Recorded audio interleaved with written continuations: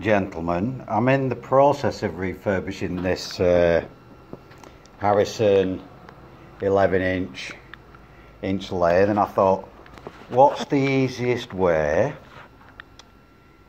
to put an inverter on it? So I came up with a remote control. So let's see what it'll do I can select the frequency.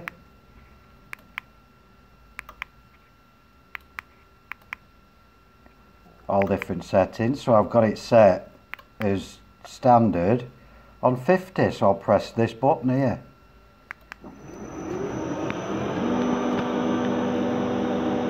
Look at that. Change the frequency down to 25 back to 50 down to 40 up to 75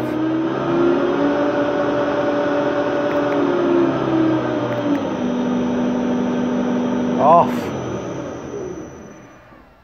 Reverse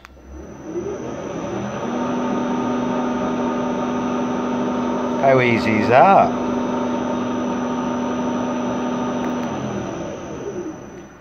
See you later.